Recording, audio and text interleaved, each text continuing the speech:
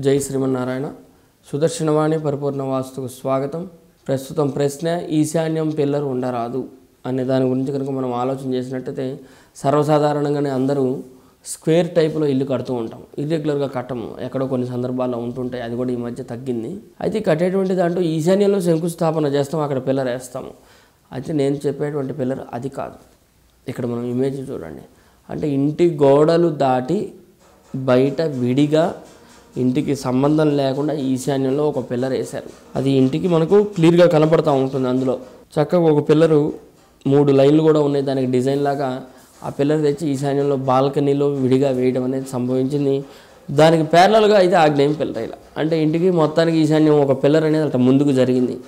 ఆ విధంగా పిల్లర్స్ వేయటము దాన్ని ఎక్స్టెండ్ చేసుకుని దాన్ని కలిపే విధంగా మీరు భీము అనేది ఒకటి చిన్న భీము అనేది ప్లింత్ భీము అనేది లాగటం అట్లా చేసినట్లయితే ఆ ఈశాన్యం పిల్లర్ అనేది బరువు అయ్యే అవకాశం ఉంటుంది.